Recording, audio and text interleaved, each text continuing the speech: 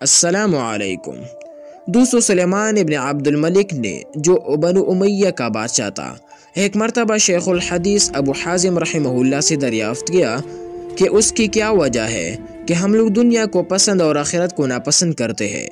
آپ نے برجستہ جواب دیا کہ تم لوگوں نے دنیا کو آباد کیا اور آخرت کو برباد کیا۔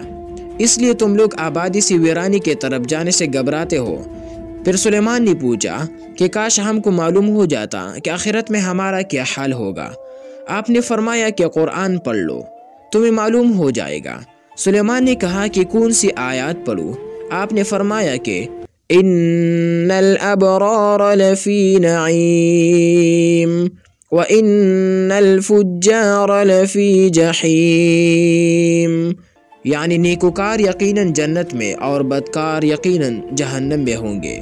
پھر سلیمان یہ دریافت کیا کہ دربار الہی میں بندوں کی حاضری کا کیا منظر ہوگا؟ آپ نے جواب دیا کہ نیکوکار کا تو یہ حال ہوگا کہ جیسے برسوں کا بیچڑا ہوا مسافر خوشی خوشی اپنے اہل و عیال میں آتا ہے، اور بدکاروں کا یہ حال ہوگا کہ جیسے باغا ہوا غلام گرفتار کر کے آقا کے سامنے پیش کیا جاتا ہے۔